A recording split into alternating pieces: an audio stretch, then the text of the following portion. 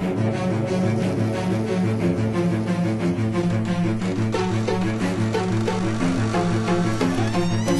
wears his heart safety pin to his backpack. His backpack is all that he knows.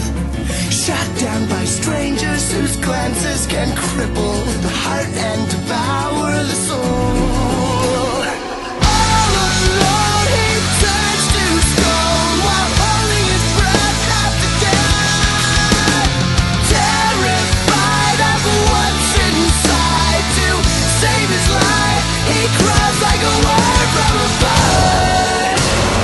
out